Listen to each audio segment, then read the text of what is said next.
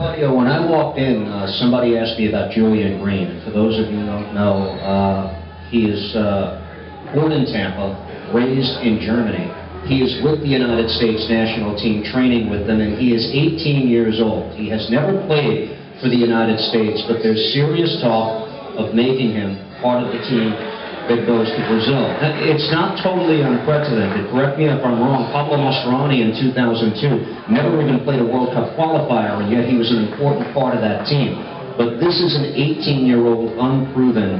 How ludicrous or just out there might the possibility be of a Julian Green, a teenager, who hasn't played yet, going to Brazil with this team just three months from now?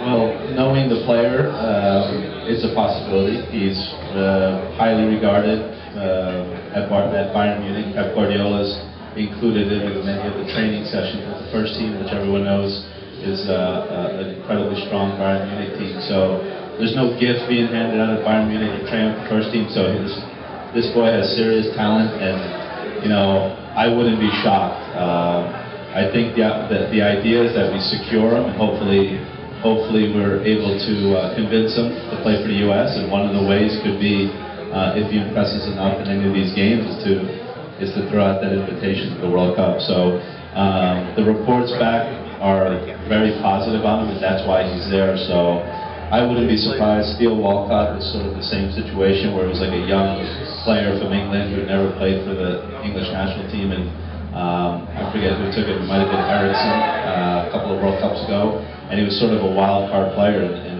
it, you know, you just never know. I mean, that's what's so interesting about these last couple of months. There's players that are on every single country that sneak into the roster. Uh, I wouldn't say they sneak in; they earn their way in, but out of nowhere. So Julian could be that player for the U.S.